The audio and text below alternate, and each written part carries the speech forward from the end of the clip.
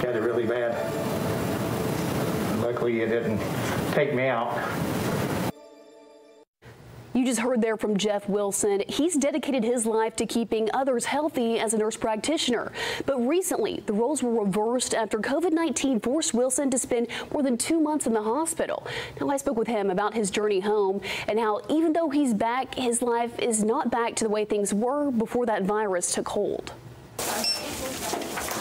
For the better half of 64 days, Jeff Wilson had only physicians and his thoughts to keep him company. My primary care said I was the unlucky 1%. The 57 year old spent the majority of that time fighting for his life in Erlanger's COVID ICU, the rest recovering in another hospital unit. There's times that I would have been thankful if God would just take me on because it's kind of hard. But it wasn't Jeff's time.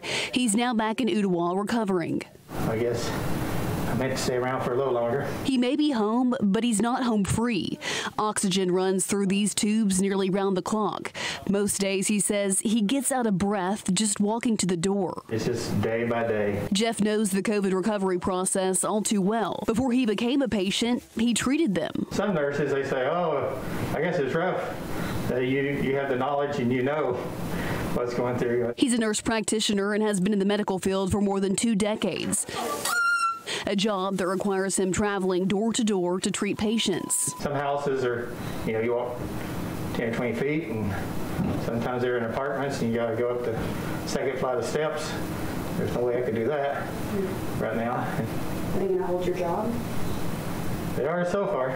Jeff has a long road to full recovery. For now, he's taking in the small comforts only home can provide. Uh, sleeping in my own bed, not being woke, somebody waking me up to stick me or give me a pill or something. Uh, that's nice.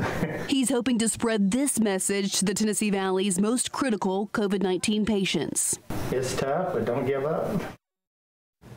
Now, later on this week, Jeff is speaking with his doctors about the possibility of a lung transplant. Now, he's not certain he'll need one at this point, and he's praying that's not the case.